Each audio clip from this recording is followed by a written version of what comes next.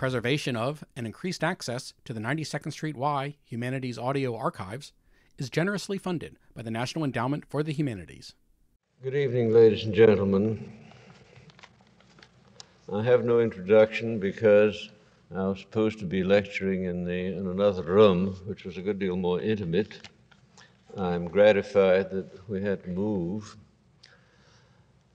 The subject to which the series is to address itself is uh, interaction between different strands of culture and towards the end of antiquity, the eastern end of the Mediterranean. We will be looking mainly at the Hellenistic age, which is to say the centuries following the conquest of Alexander the Great at the end of the fourth century BC, because though these contacts had gone on for millennia before, the pace was very suddenly accelerated at that time. And more important, because during the Hellenistic age, at least in my judgment, the outlooks which have determined the contours of Western civilization first took shape so that if you look at classical antiquity, or if you look at the ancient period in the ancient Near East, you will find it impressive, of course, but a little stark and a little remote. When you move in the Hellenistic age, you feel right at home. Tis like another country of Europe, a foreign country to be sure. We have learned in our time to be very receptive to the idea of one world. We know that there are mutual influences from country to country, and that these influences move very quickly because of our improved communications. Our problem is to maintain whatever native values we have at the same time learn from the rest of the world. We've learned also that antiquity was one world in the same way. At least we've become receptive to the idea. I still can remember uh, my own early education where I was told that sacred history began with Abram and secular history began with Homer and the two proceeded by insulated channels and never touched each other except pretty late in the time of Christianity when they touched each other with hostility. Uh, my own impression is that these two peoples were very like. They're almost like siblings. This contrast, this dichotomy, which uh, Victorians drew between Hellenism and Hebraism, is at least an oversimplification. Because if you conceive of Hebraism as being concerned mainly with relations with the supernatural, with the divine, I would say that there's not a single page of Greek literature, of Greek poetry, which is not similarly concerned with relations with the divine. And if the Greeks are concerned with beauty and with politics and with uh, things of that sort, with secular things, of course the Hebrews also fought battles and occasionally won them. They also created political institutions and they also loved and wrote magnificent poetry. So that what we are dealing with is rather than two alien bodies that are unknown to each other, and hostile to each other. We're dealing rather with sibling rivals. And of course, the differences in siblings do become terribly important. And this evening, I want to deal with one of these uh, phases, and that is the Greek phase, uh, and proceed to deal with the other in subsequent uh, lectures. This is not a very easy thing to do. It reminds me a little bit of the man, I think, in Dickens, who was told off to write a paper on Chinese philosophy. And his procedure was to read the encyclopedia article on China, and then read the encyclopedia article on philosophy, and put them together. This is not the best way to do it. Well, I don't propose to tell you tonight all about the Greeks. I've spent a fairly long lifetime studying them, and I don't know all about them yet. But I do want to talk about the salient things and the things which differ most markedly, most boldly from the traditions which come from the East. And I think that all of these can be subsumed under the word humanism. And this is what I wish to talk about. There are certain ideals and practices of humanism which are consistent all through Greek history. They appear in Homer, they appear markedly in Epicureanism at the end of the period. They are responsible, it seems to me, for the Greek achievements in literature and philosophy, particularly in politics. I will say at once that they are not the only strand in Greek thought, humanism is not, because there were others which cannot be read out of the book. There's no orthodoxy and no heterodoxy. There are a great many people who are much concerned with humanism and impatient with Plato, for example, who has been condemned by certain German scholars as an, as an alien drop, fremdes Blutstropfen, an alien drop of blood in the Greek blood, bloodstream. I myself would not know how to define Greek without, and, and, and leave Plato out. Now, the doctrine of humanism is formulated in crystalline form in the dictum of Protagoras, which you all know man is the measure of all things.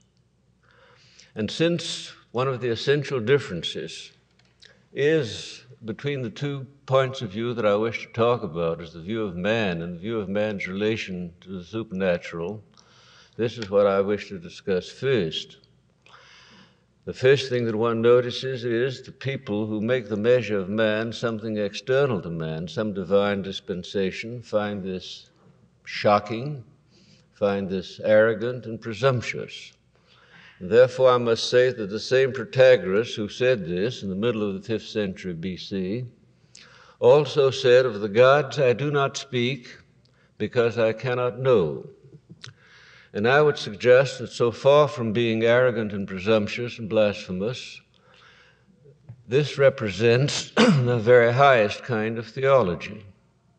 There have been sects in, I think, every religion which have held that any predication about deity, any predication about deity, is blasphemous.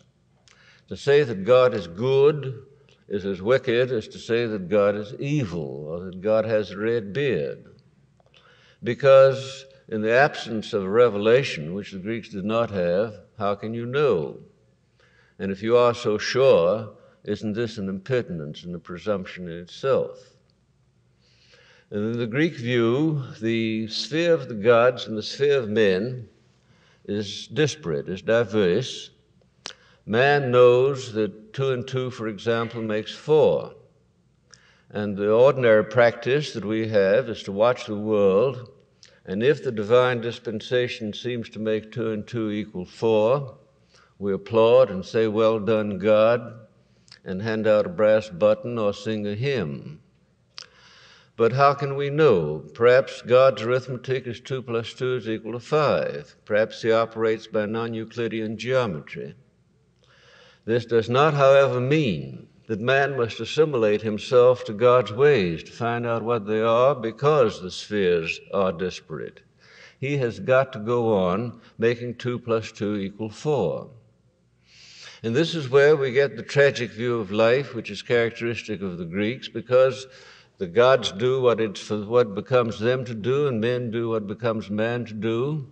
And if a man behaves well as man, behaves well as man, and is nevertheless tripped up by forces which are outside his control, indeed outside his understanding, there we have tragedy.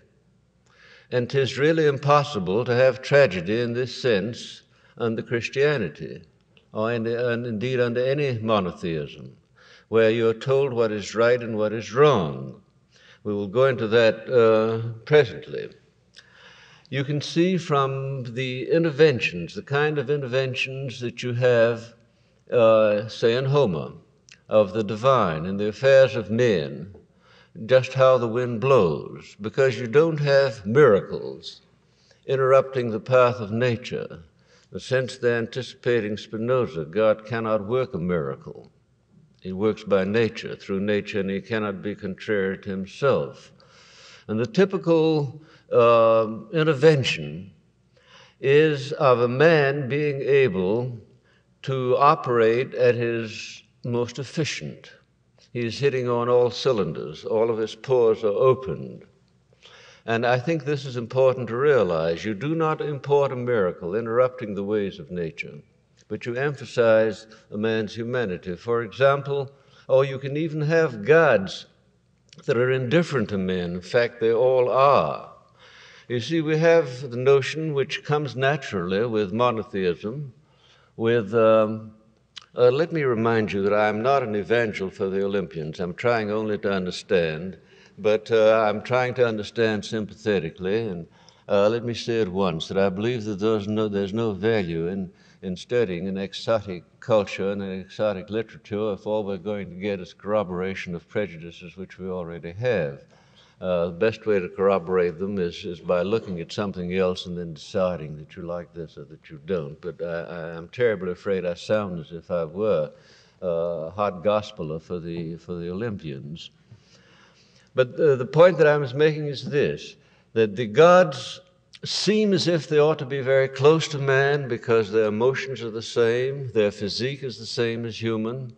They should be very close, and in fact, they are more remote from man than is the transcendent deity. Because there's one very great difference. They live forever, and they're very beautiful, and very young, and they stay young. And this makes a greater gulf, it seems to me, uh, the greatest gulf possible. We uh, monotheists seem to believe, though we don't say so, that God's chief business is to keep book on us. He's, this, is, this is his main concern. Well, the Greeks never thought that their gods were leaning over a battery of IBM machines and punching holes in cards. As a matter of fact, in, the, in Homer, Apollo can say, Why soil my hands with these creatures of a day? I will go off and be a god. And among the Epicureans at the end of the Greek period, uh, they said very specifically if gods had to mind men, there wouldn't be an advantage in being a god. So they were all having a divine picnic all the time. This is one of the arrogances of, of, uh, of devout people that uh, think that, that that is the way it's done. But I was going to speak about interventions. I'll mention those that I'll presume that you remember. At the beginning of the Homer, at the beginning of the Iliad, Achilles, in an open meeting, is drawing his sword and he's about to attack Agamemnon. Athena, the goddess, grasps him by the hair. When he turns, she stares into his face with a blazing look. It is important to realize that nobody else saw her. Homer says so. Only Achilles saw her. He puts his sword back into the scabbard because he bethinks himself that there may be better ways of avenging himself on, a, on Agamemnon than attacking him. You notice she didn't hold his wrist. She didn't import a miracle to stop nature, to stop him. She enabled him to operate at his most efficient and his most intelligent, to lose his, his wrath. And most of the interventions, not all of them, because Homer has many layers, of the same kind. There's a story which children were always told about Heracles. A farmer had his cart mired down, he couldn't get it out of the mud. So he prayed to Heracles, who was a big, strong man, to come and help him. And sure enough, Heracles turned up, whereupon the man proceeded to sit down on the bank and do the equivalent of smoking a cigarette while Heracles did his job. Heracles says, Not that way, my friend. Put your shoulder to the wheel. Something will happen. I will touch the wagon, I will touch you, or something. But you cannot expect the divine to come in and push the wagon out while you are sitting on the bank or praying or whatever you're doing. Now, another aspect of this, which is terribly important, is the fact that the Greeks were polytheists. Now, this is, is terribly hard for us to realize what polytheism means because we are all monotheists.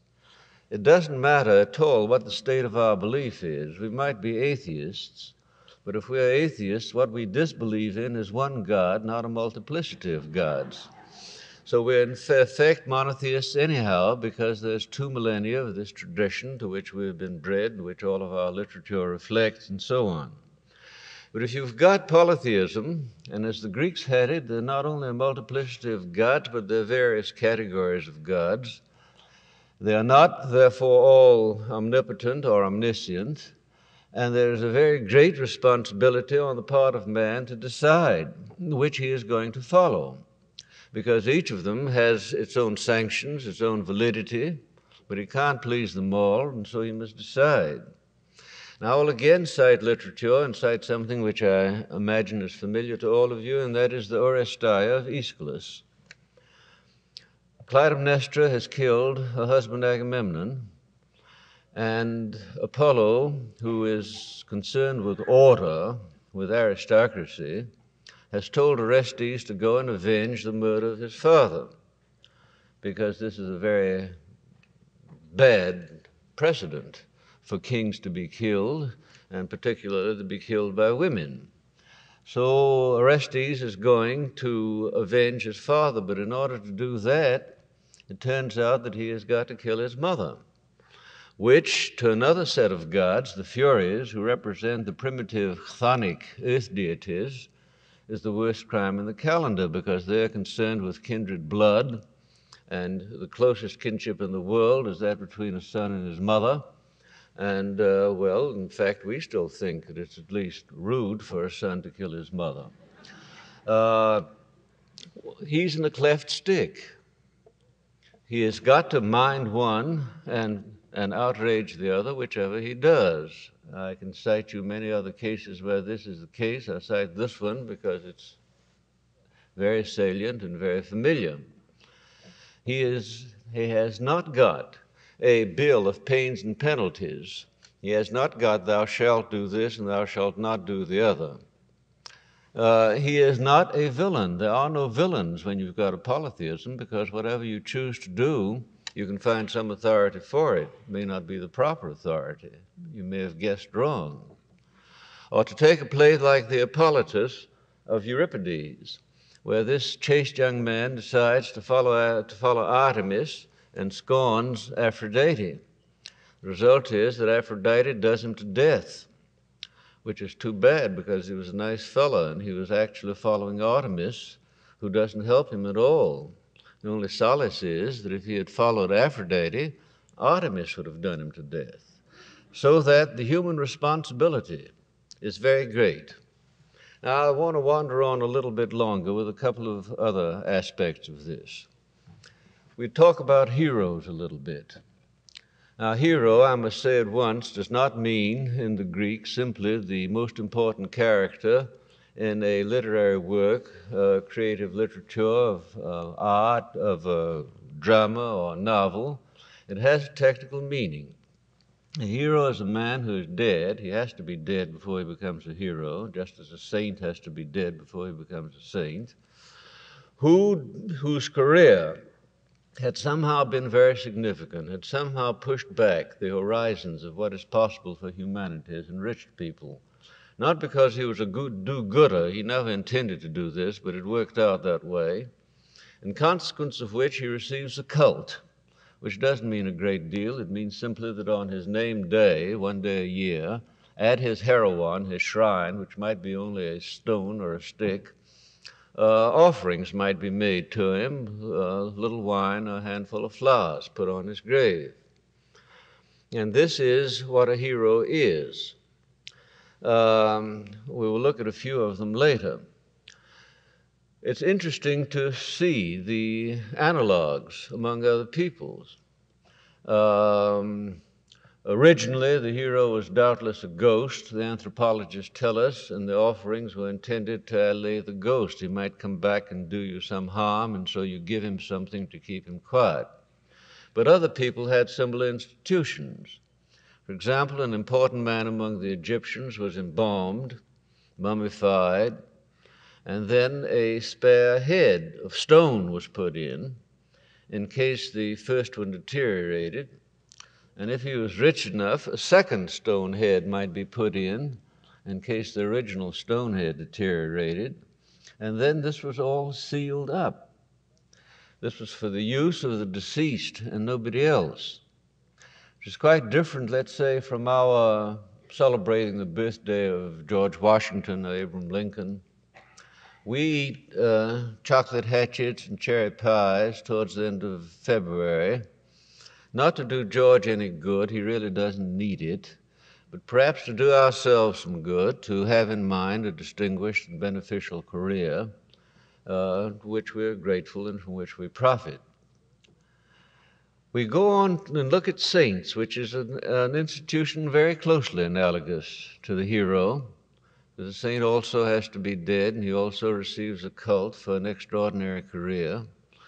But the difference seems to me is very startling because, to put it perhaps by oversimplification, the saint gets to be a saint by shaking off his humanity and assimilating himself to an ideal outside of humanity, a superhuman ideal.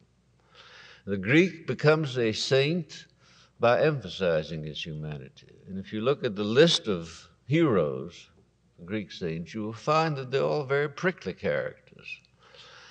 The ideal among them says Achilles is a very bad man.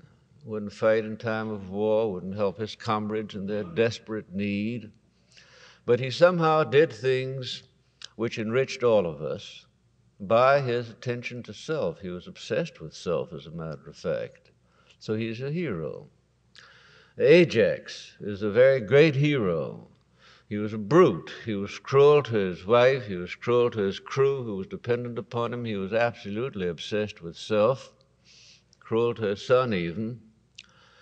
And yet you have got to decide, society has got to decide.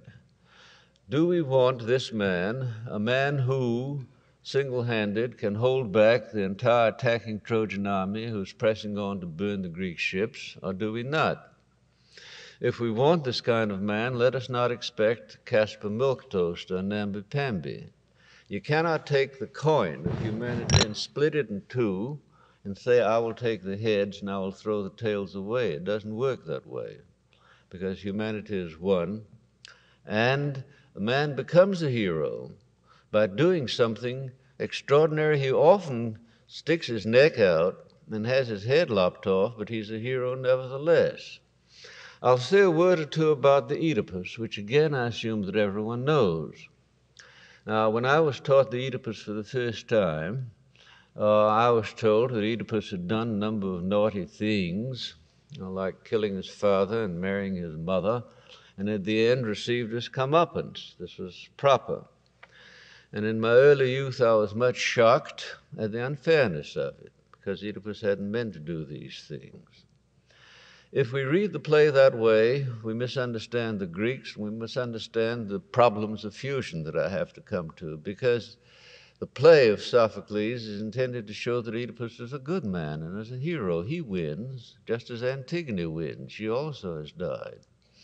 Because here's a man who has gone on pursuing the truth unflaggingly after it's become manifestly dangerous for him to continue on this line of investigation. Uh, this is a fine thing to do. And to say that he had tragic faults like a short temper and suspicion of his friends misses the point because a man without a short temper and suspicion of his friends couldn't do what Oedipus did do. We cannot take the heads without the tails. So, as I said before, this is tragedy. The man has done what is for a man to do, and he's done it magnificently. If there's a villain in the piece, the villain is obviously Apollo.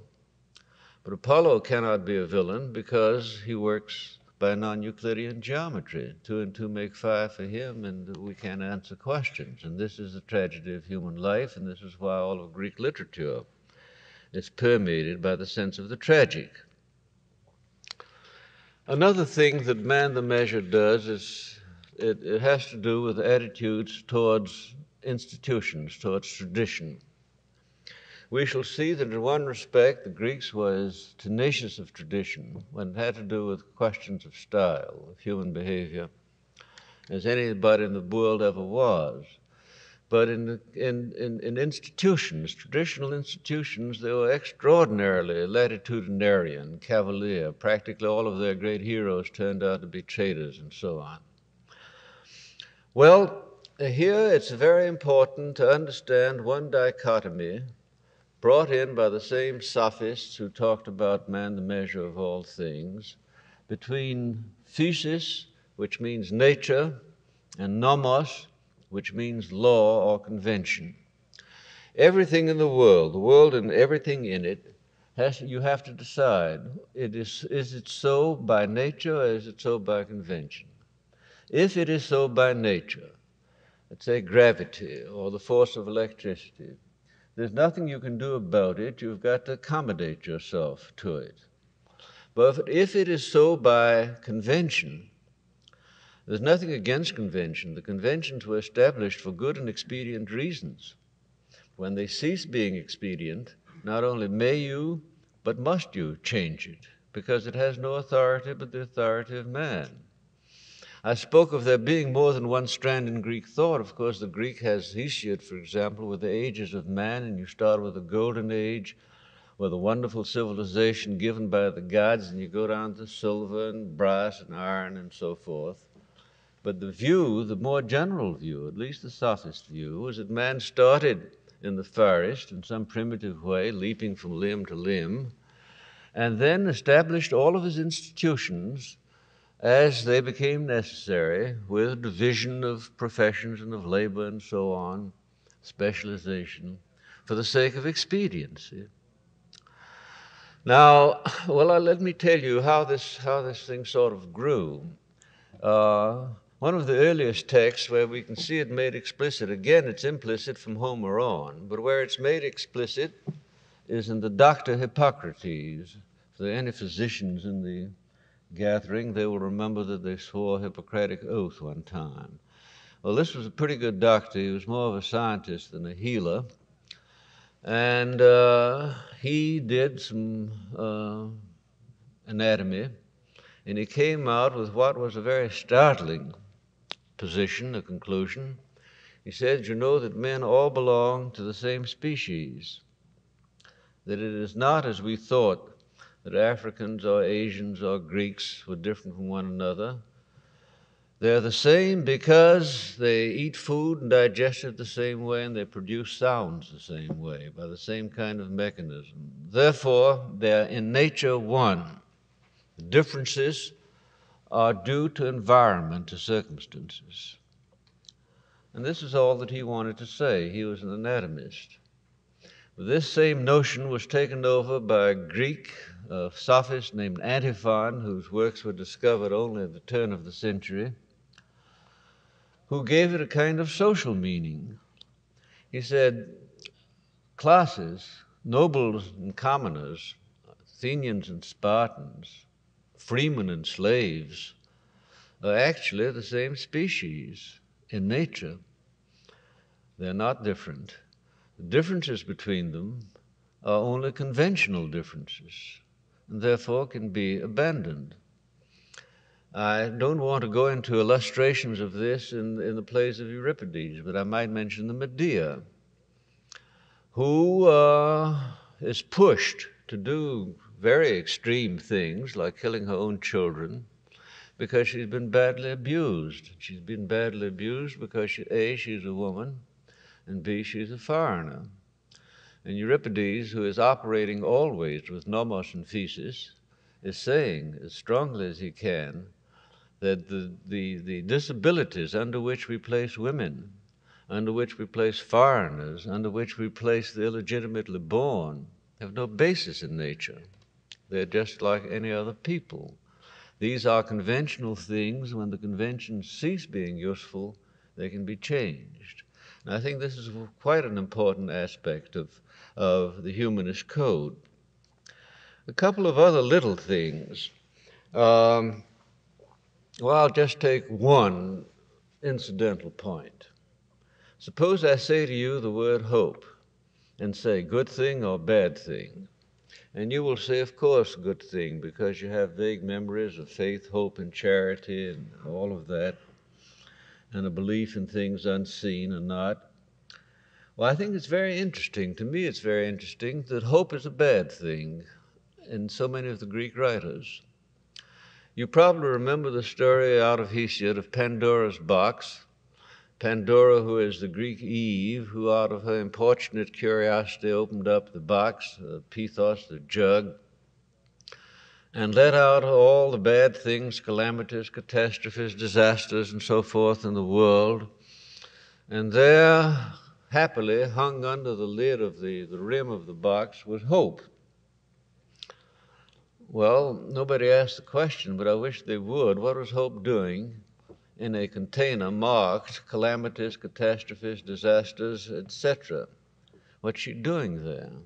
And the answer is that hope is not a good thing to believe that something may happen when you have no rational grounds for supposing so. I mean, it's not so in logistics or any other way. You can't work it out by arithmetic and say there's a reasonable probability. This is not healthy.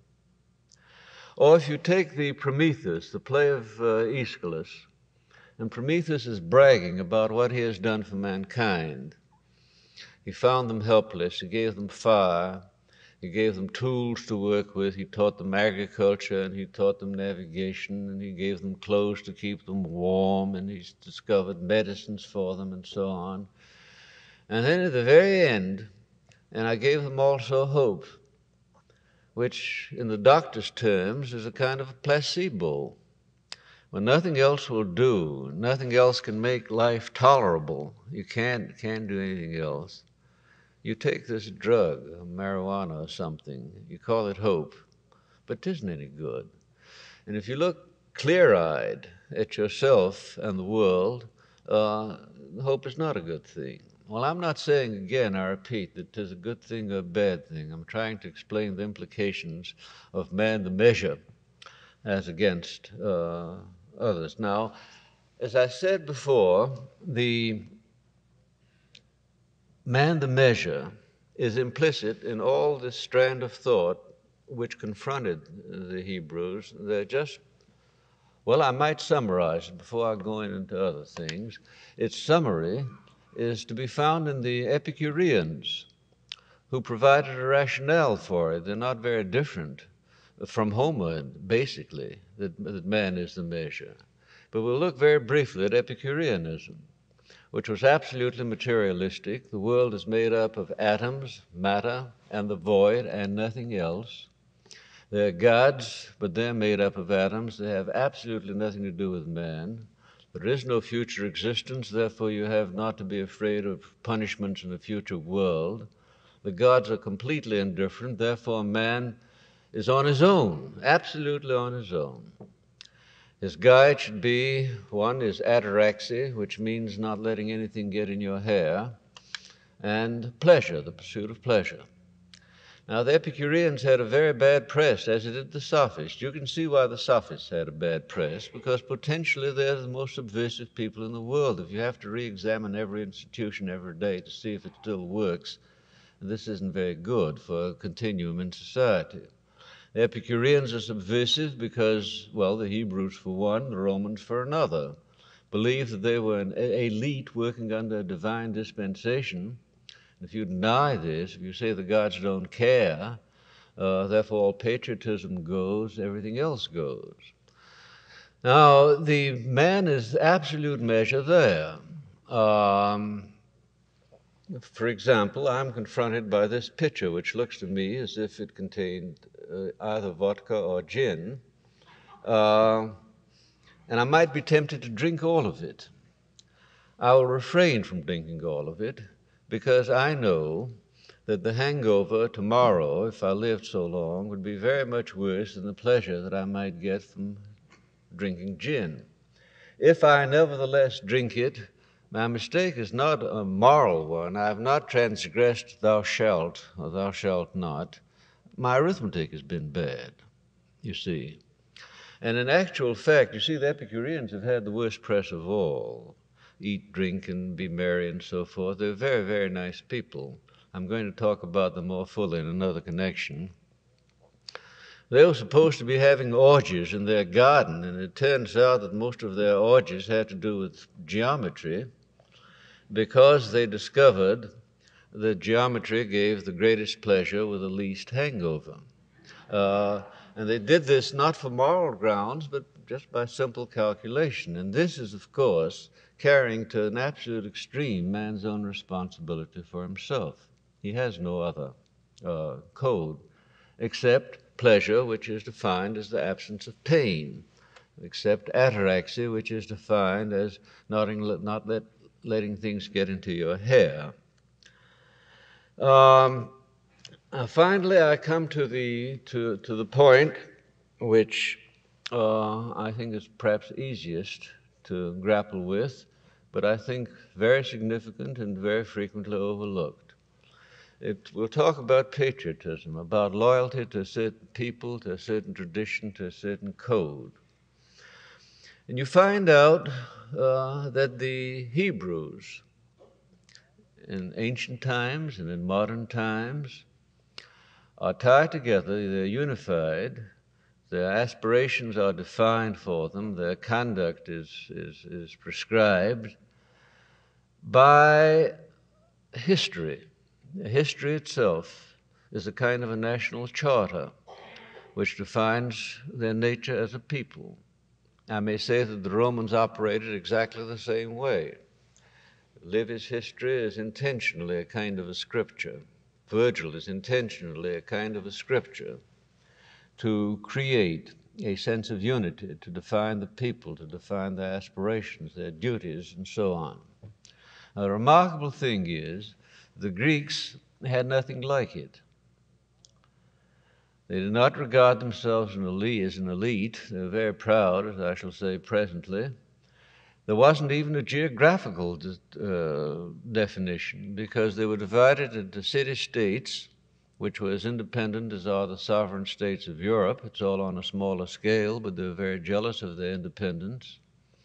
And there's actually nothing, there's no common history, no common scripture, no charter to hold them together. The only thing that did hold them together was something that I should like to call style. There was a certain style to which they were extremely loyal. It was the style of Greekhood, and they defined being a Greek. But there's no authority to exact it at all. Um, people who followed this style, and you can explain this too. How do you define civilization? Well, the easy rule of thumb civilization is the measure of the interval from the animal. Isocrates in the fourth century had an easy ratio. He says, Man is to animal as Greek is to barbarian, barbarian simply meaning non Greek. Man is superior to animal because he has logos, and logos means reason, it means word, it means discourse, and the animal, of course, has not. Greek is superior to barbarian because he has subtle, profound, numerous, and most of all, stylish logoi, and the barbarian does not. He can just blurt out what he has to say, and it's all very simple. And the reason that the Greeks are better than anybody else is because of the superiority of their logoi I hasten to add, because my theme is going to be fusion, that Isocrates, even in defining Greek, said, We do not define Greek by race, we define it by education. Any non Greek who has enjoyed Greek education, who has read the Greek books, is an honorary Greek. Any Greek who has not is a barbarian, which is really extraordinary. This is this this is a, a, a, well, we have something like that about an am ha'aretz, but we'll come to that later. That, that an ignorant man is uh, does not really belong. Now, where where do you find out about Greek style? Where is this? Well, the repository of style is a library of books, which were reduced almost to a canon. Here's where we get very, very close to certain Hebraic ideas. These books, if you study these, you will absorb uh, this particular style, which sets you apart from other men, which makes you akin to this particular group. It is a, a set of books, which is almost, as I said before, canonized, into a special collection, a special kind of library. And to me, one of the most interesting things is that in the Hellenistic age, when the Greeks did the most wonderful thing that they did ever, that is, in a practical sense. Practical sense. I think their literature on philosophy is quite wonderful in another sense. When they Hellenized the entire ancient Near and Middle East, peoples who were originally uh, not, not an empty continent, you know, it's not like the English coming to America, but a thickly crowded population sophisticated, the heirs to an ancient culture from which the Greeks themselves had learned. And these people were very soon talking Greek and reading Greek books and calling themselves barbarians, incidentally. I think that this is pretty marvelous. And the question is how they did it. They did it because the, any place that the Greeks settled in the Near East, one of the first things they did was to establish a school, a gymnasium object of the school was to perpetuate the values of Greekhood. They're in an alien country and they've got to be themselves. So there's a certain amount of calisthenics and there's a certain amount of music, but mainly there are books. And books, not modern books or practical or technical books, but, if you please, the ancient classics, and mainly Homer, which was the mainstay of education. And I would remind you that Homer is as, is as ancient to people in the third and second century BC as he is to us, because after you pass five or six hundred years, it doesn't matter. The book is old, anyhow. The question is why Homer? People have spoken of Homer as being the Bible of the Greeks. This is very wrong because it never claimed any divine authority, but in the sense that everybody knew it and that it kept the people together, it was. And the reason they, they uh, studied Homer, obviously, is not to learn about a little parochial war that didn't amount to anything, that was legendary anyhow, but to learn Greekhood. It's the repository of a particular kind of style, which becomes very important. Well, suppose we look at what this style is like.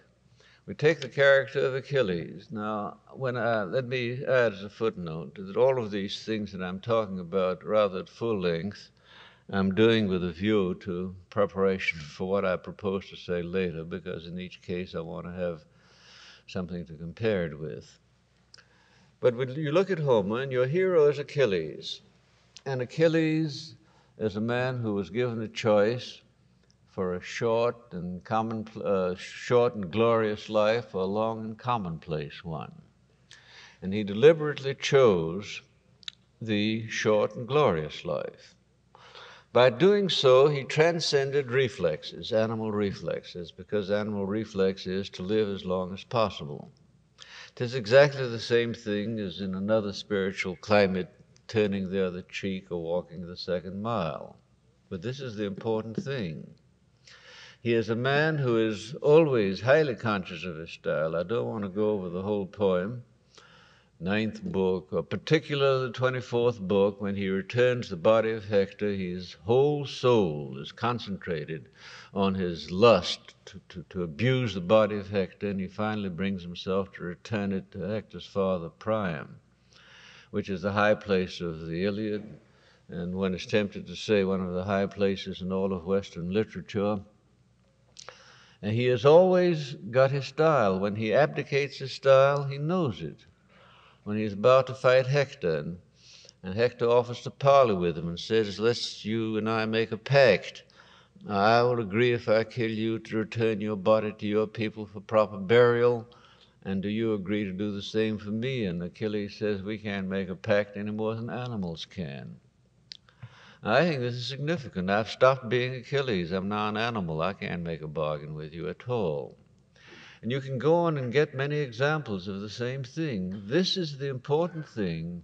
This is a kind of civilization. This is a kind of code. It's a heroic code. It's an aristocratic code.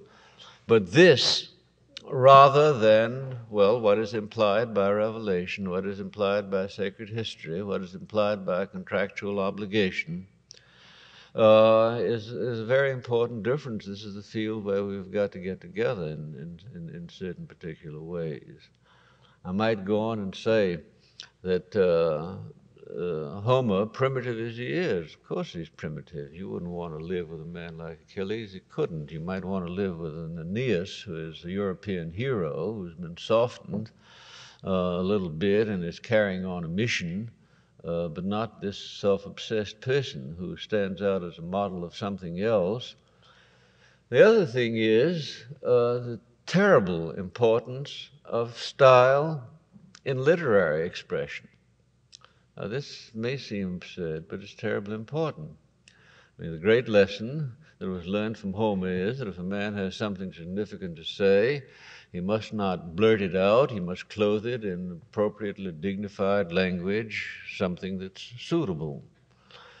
So you get this highly stylized, artistic strand in all of, in all of Greek literature. I've mentioned tragedy at several points. Can you think of anything more stylized than that? People do not, do they normally, talk to each other in alternating lines of verse, and their conversation is not interrupted by a group of 15 elderly gentlemen who come out to sing and dance to tell you what they feel about it all. This is the furthest remove from a film, a tape recording with sound of any casual encounters. It's a distillation in the mind of a poet and a thinker. It's presented as such, it's received as such. Literature is terribly important it is the self is important, and you you, uh, you, you this is the way you express yourself. Uh, one of the characteristic things of this whole way of, of thinking, I mean, you look at Achilles and you say, well, this, this is terrible. He's so self centered. Till you realize that there are verses, there's a couple of verses in the Iliad. Father sending his son out to war, uh, to his career in life, remember, son, aie aristuein kai hyperachon allon. Remember, son, always to excel, to be at the top, to be at the head of every list. And this, there's no people that are ever so eager to get to the top of things, to assert their individuality. This is why style is important. There were never any people that were so interested in signing their work. Um, the man wrote a play, uh, made a composition of music, not as the spirit moved him, but to enter into competition with the hope that he would get first prize and that his name would be on the record. The potter signed even the cheapest ware has his name on it. I think this is one of the signs of the vogue of humanism. Names decrease until you get to the Renaissance, and then they burst out again in, in the humanist thing. People again start signing their work, writing biographies, which they hadn't done, writing autobiographies like Cellini, writing like Pico della Mirandola the dignity of man, of individual man. And you see, well, I, I could uh, close and perhaps even offer a transition to, to uh, an, another theme. Um, when people are, are absorbed in an obligation, in, in, in an institution, in serving an institution like, uh, well, even Aeneas was, the individual recedes. You don't have this great emphasis. In the books of the Apocrypha, which have always been a special concern of mine, there are two books of the Maccabees. As you all know, we shall have to be referring to them presently. First Maccabees, they're extant, of course, only in Greek, the first Maccabees is a translation out of a Semitic original, either Hebrew or Aramaic. Tis written according to Greek modes of historiography, perfect, but it is anonymous. It isn't signed. None of the uh, of apocalyptic books that were written in the intertestamentary period assigned by the author's name. If you give a name, you give a name which is wrong, actually, like Solomon when he couldn't have written it to give the book credit. Second Maccabees is a Greek book. It is an, an epitome, an abridgment of a book originally written in Greek. It is proudly signed. Jason of Cyrene wrote this book.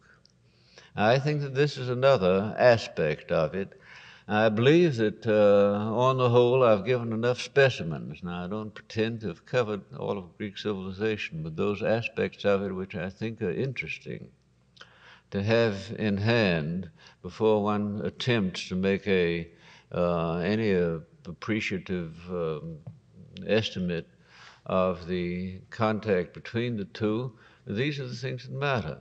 Uh, humanism is not the only strand in Greek thought, but it is a significant one, and it is also the one at the polar opposite of the other strand with which it had to come to terms, which, with which it had to make peace, and the amalgam of the product of which uh, determined the character of Europe. And I think that the next time, uh, what I will talk about is the actual context. Thank you very much, ladies and gentlemen.